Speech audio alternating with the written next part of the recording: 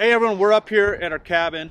I am Sam with Snow Groomers and we're going to show you how to set up and use your snow groomer. So we're going to kind of run through everything from getting the right angle, some of the options for the adjustment, and just a few tips and tricks that I've learned over the years of grooming. And so this is our SNO-MASTER 48.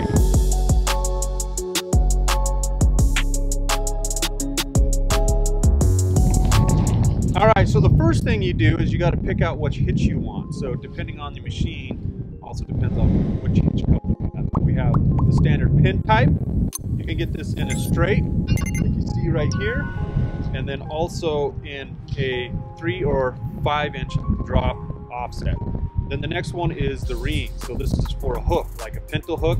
Same thing, you get them straight, you can get a three inch or a five inch offset. So the goal is, once you hook it up here, for example, we have our universal hitch mount that allows you to hitch to a standard pin coupler that you would see on a lot of snowmobiles. So it mounts underneath the ball and then it hooks straight up. So the, if you notice, we're trying to get the drawbars as level as possible.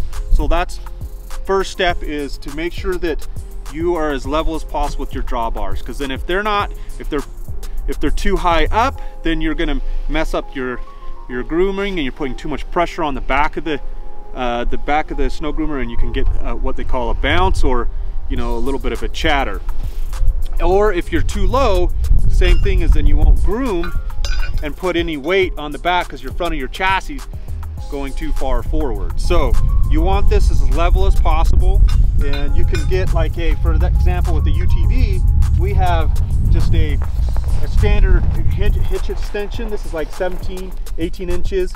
And then we just have a little bit of a drop. So this is a couple inches of a drop to be able to get a nice level drop bar. So this has a snow razor blade on it. And so that's the other reason you want it to be as level as possible. If you're too high, the razor won't work and you have to drop this down too low and then it puts too much pressure on your snow razor as you groom. So you want it to, to be able to have, you know, to land when it's down in the snow, somewhere in between there when it's cut.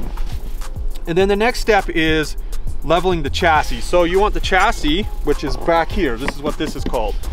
So this is the chassis or the compaction pan, and you want it to be as level as possible as well. Um, in fact, typically you want it to be one or two degrees pitched up in the front. Um, if it's if it's pitched too far, uh, far down in the front, you won't get any corduroy and it won't pack. And if you're pitched too far up, like I mentioned, you'll get chatter and it'll bounce. So you want it to be as level as possible. And so now you have some adjustments right here. So this is attached right here to the front of the chassis. And you have a few hole, different holes to be able to move that up and down. We give you a angle base indicator to be able to put on here and it's magnetic so it'll sit right here to tell you what your degree of your pitch is on your chassis. So that's provided in the uh, hardware set with all of our kits that we send out. So once you get that level you can move these up and down to get that nice and level and then typically for me usually when I'm towing with this machine I'm in the third position. Sometimes I go up to the second position here but mostly I'm in the third um, so it just depends on how tall your machine is on the back.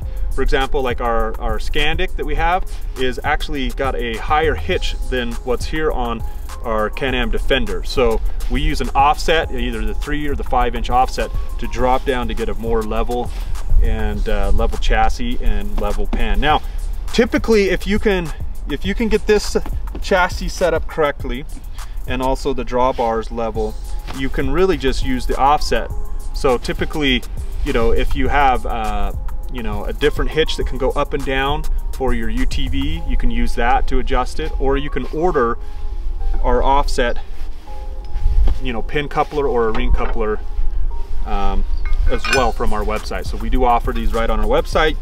And then the next thing is right here. So right at the moment, um, we have sandbags in the back of our chassis. On the very back of these, it'll come with some some finger screws that you can actually unscrew or screw out. It does allow you to put in blocks and that's what this is built for. And so you can put blocks in there and also we're just using sandbags because that's what we have up at the cabin. So the next thing is the wheel kit. So here's the wheel kit here. It's in the out of the way position.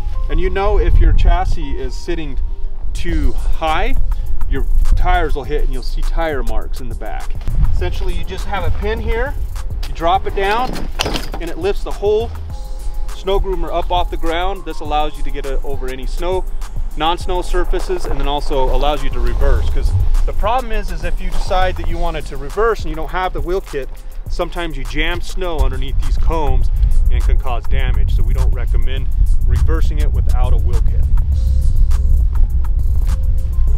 And then since I have weight in it, I gotta get a little bit more arm strength there.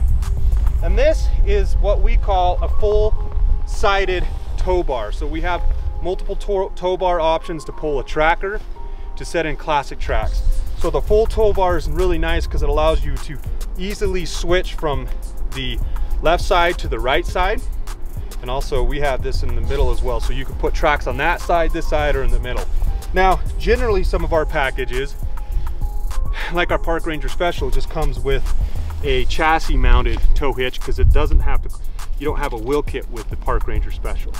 So uh, the Park Ranger Special will just be hooked right there and it's a, a single-sided tow bar as well if you wanted to get a wheel kit where it's just on one side. So we have a chassis mounted hitch, single-sided tow bar hitch, and the full-sided tow bar hitch to pull the caboose and so forth. And sometimes we even hook up, because it's a standard pin type, like we'll hook up our, our ice fishing sled as well to tow extra gear if we need to. So the Razor has a full adjustment here and they're just done by a handle. So you loosen them both up and then you can drop it down to the desired length. We have an entire video on how to use the razor. Basically, you don't want it to you don't want it to dig, you want it to cut. So a lot of times I just put it right on the top of the surface and see how it's cut. And then when it, you want it up out of the way, you just pull it up, tighten it up and really crank down on that. Sometimes you can grab the, the middle of the the blade down here and pull it up really easily. So some tips and tricks while you're grooming.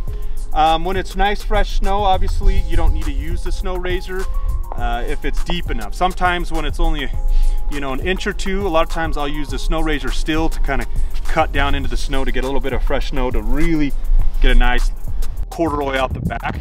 But right now it looks like we have enough snow that I don't have to use the razor unless I find some bumps or ruts that I need to fill in.